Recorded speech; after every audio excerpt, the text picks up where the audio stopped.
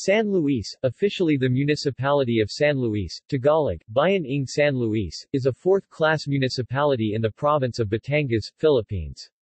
According to the 2015 census, it has a population of 33,149 people. Geography According to the Philippine Statistics Authority, the municipality has a land area of 42.56 square kilometers, 16.43 square miles, constituting 1.36% of the 3119.75 square kilometer, 1204.54 square miles total area of Batangas. Barangays San Luis is politically subdivided into 26 barangays. Demographics In the 2015 census, San Luis had a population of 33,149.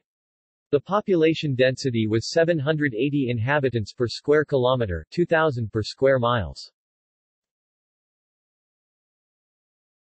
Gallery References. External links